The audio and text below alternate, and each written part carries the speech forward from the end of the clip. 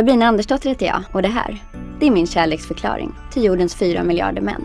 Kvinnors nya positionering i affärslivet gör det lätt för vår omgivning att glömma bort att vi faktiskt fortfarande är kvinnor. Och att bakom våra åstadkommanden så gömmer sig rädsla och en evig längtan att bara släppa taget och få falla ihop och vara sårbara ibland. Därför handlar min medverkan idag inte bara om att peppa kvinnor som jag, som är uppslukade i karriärskarusellen, men framförallt att påminna er män om just hur viktiga ni är för oss. Att vi fortfarande, oavsett vad vi verkar klara, har en djup längtan efter att ge upp i eran famn. Vara små och få en puss på pannan då och då.